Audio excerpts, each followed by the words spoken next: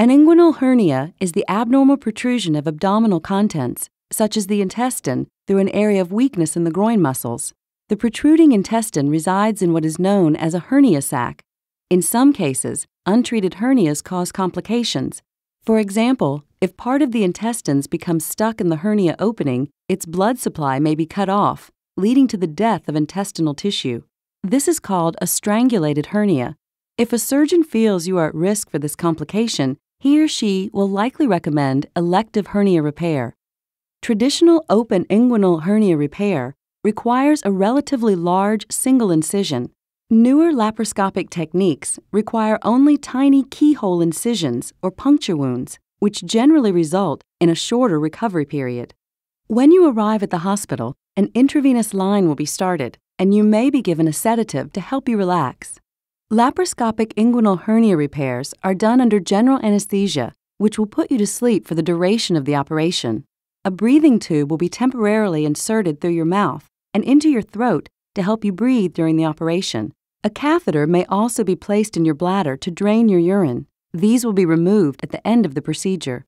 An uncomplicated laparoscopic inguinal hernia repair usually takes between 30 and 60 minutes Depending on your situation and your surgeon's experience, he or she will choose one of two types of laparoscopic approaches extraperitoneal laparoscopic repair or transabdominal preperitoneal repair.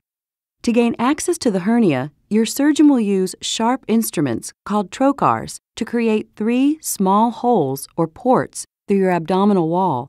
The location of these ports will vary depending on your surgeon's preference and the type of procedure. One of these ports is usually located at your navel or umbilicus.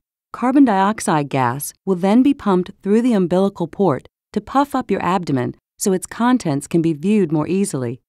Next, your surgeon will insert the laparoscope through the umbilical port.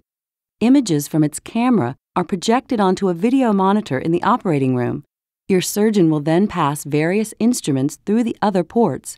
These will be used to dissect away the hernia sac and to tack a piece of mesh over the hernia opening. This will prevent the intestine from slipping back through the opening. Before removing the laparoscope, your surgeon will take one final look around for areas of bleeding or other damage. A port valve is briefly left in place to allow all the carbon dioxide to escape from the abdomen. Finally, the keyhole incisions are closed with sutures or staples and covered with bandages.